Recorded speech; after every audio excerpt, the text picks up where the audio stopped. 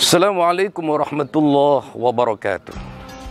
Menjelang Rasulullah wafat, baginda Nabi Muhammad sallallahu alaihi wasallam mengambil keputusan kontroversial mengangkat Usamah bin Zaid, seorang pemuda yang baru berumur 18 tahun, menjadi panglima perang menghadapi Romawi. Padahal pada saat itu masih banyak sahabat-sahabat senior yang hebat seperti Umar bin Khattab, Khalid bin Walid. Saudara, setelah Rasulullah wafat, posisi Usamah bin Zaid ini sempat digoyang oleh para sahabat-sahabat itu.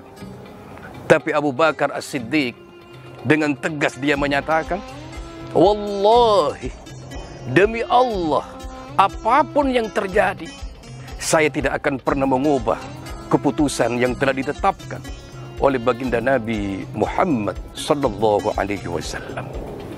Saudara-saudara, ucapan Abu Bakar ini menjadi kenyataan. Usamah bin Zaid yang diragukan kepemimpinannya, yang diragukan kemampuannya, pulang dari peperangan membawa kemenangan yang gilang gemilang.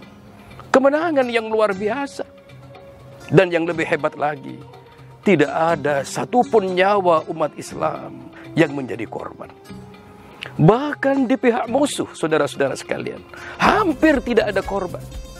Karena Usama bin Zaid dengan kepiawaian otak yang dia miliki, kecerdasan intelektual yang dia miliki, dia lebih memilih strategi diplomasi yang jitu sehingga lawan lari terbirit-birit menyerah sebelum berperang.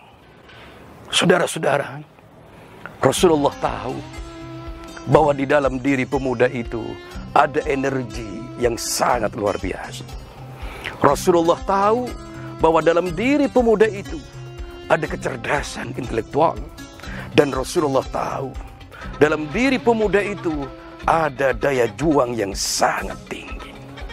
Sehingga Bung Karno juga pernah menyatakan, Beri aku seribu orang tua, niscaya ku cabut semiru dengan akarnya. Tapi beri aku sepuluh pemuda, niscaya ku guncang dunia ini. Saudara-saudara, 17 tahun sebelum Indonesia merdeka, generasi muda bangsa ini dengan gagah berani bersikap, bertumpah darah satu, tumpah darah Indonesia. Berbangsa satu, bangsa Indonesia berbahasa satu, bahasa Indonesia. Sikap ini luar biasa. Di tengah himpitan yang sangat berat sebagai dampak daripada penjajahan. Generasi muda kita, anak-anak muda kita tidak pernah takut, tidak pernah ciut nyalinya demi masa depan bangsa ini. Saudara-saudara sekalian, dalam hari yang bersejarah ini, saya ingin mengajak kepada para generasi muda. Mari kita jaga bangsa ini. Mari kita selamatkan NKRI ini. Jadilah kalian pemuda yang tangguh. Jadilah kalian pemuda yang kreatif. Jadilah kalian pemuda yang visioner. Jadilah kalian pemuda yang punya daya juang yang sangat tinggi. Karena apa saudara-saudara sekalian? Jika pemudanya baik, maka masa depan ini akan cerah. Tapi sebaliknya, jika pemudanya rusak, sudah bisa dipastikan negara ini akan hancur. Untuk menghancurkan suatu bangsa di era milenial ini, tidak harus kita melakukan penyerangan dengan alutsista yang sangat canggih. Cukup kalau ingin menghancurkan bangsa ini, hancurkan generasi mudanya dengan narkoba hancurkan kebanggaan generasi muda akan bangsa. Hancurkan dengan foya-foya. Hancurkan jauh dari agama.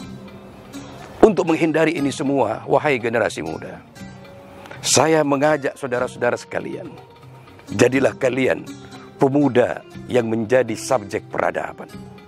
Jangan sampai menjadi objek peradaban. Dalam kesempatan ini, saya ingin mengucapkan Bravo Kaula Muda. Selamat Hari Sumpah Pemuda 28 Oktober 2018 Tangan terkepal Maju ke muka. Wassalamualaikum warahmatullahi wabarakatuh.